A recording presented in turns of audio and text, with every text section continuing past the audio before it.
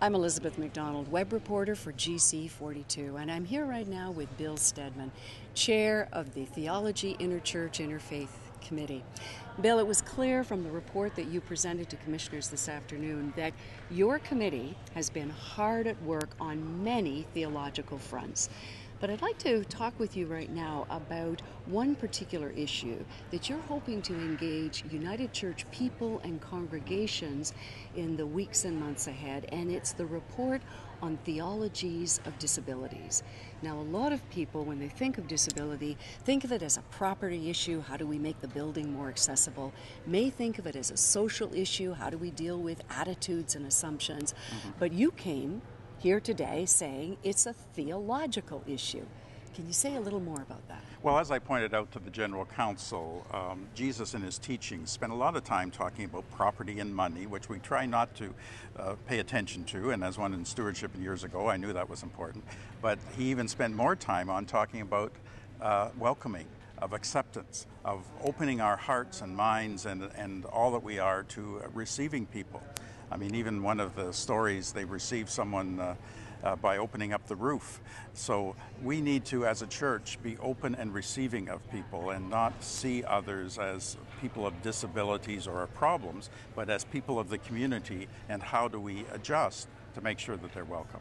And one of the first things you said the working group did was to invite input from people living with disabilities and people who are close to them. What kind of response did you get? Well, our committee realized we didn't have the expertise on it. We have a couple of people who've done a lot of work and research and uh, theological reflection on this, but we needed some input. So we invited the church to respond. 17 people indicated they would like to help us with the project. We asked for them to help do some background work. Uh, we asked the church generally to give us some sort of response on their experience as a person dealing with disabilities, how the church has been accepting and maybe not accepting.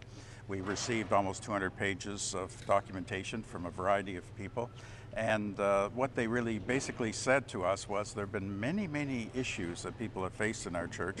What was positive was we still care about this church and we want to help this church find a new way to be accepting and caring about people with uh, all kinds of disabilities, not just physical disabilities. It may be mental, it may be emotional, it may be personal, uh, but we need to see people as people, not label them as we sometimes have done. Now, reading the report, it's clear that some of what you heard was very painful, and you told the commissioners we've got a long way to go in this area.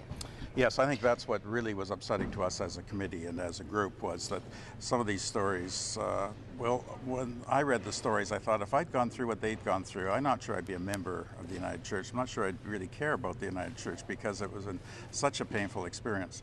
But they said, we care about the church, we want to be part of the church, and we want the church to adapt to help me come and be part of a church with my son or daughter or spouse or parent or, or uh, best friend.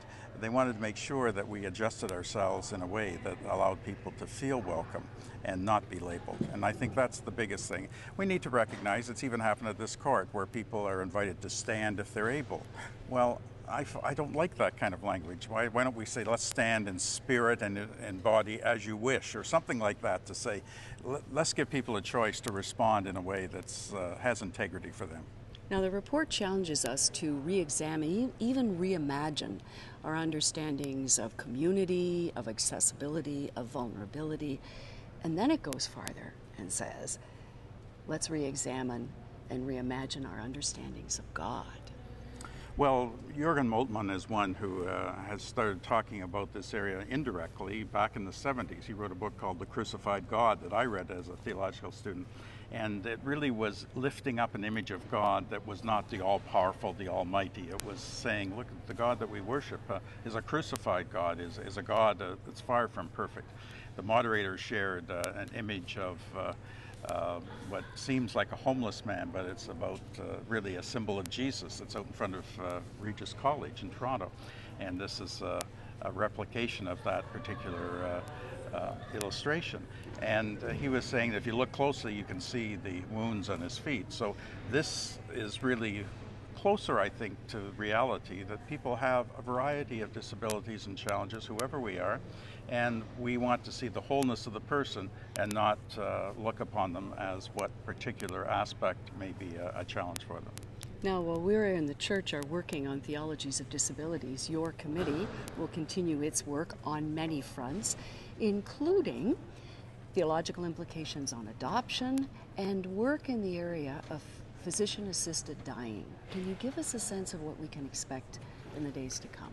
Well, because of the Supreme Court action that happened in the fall, uh, uh, uh, hearing uh, uh, issues in the Supreme Court around what is now called uh, physician assisted dying.